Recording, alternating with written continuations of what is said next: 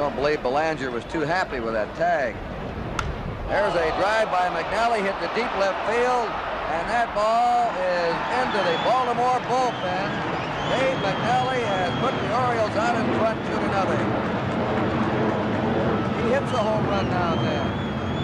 He hit four American uh, League home runs. Three last season and one this season.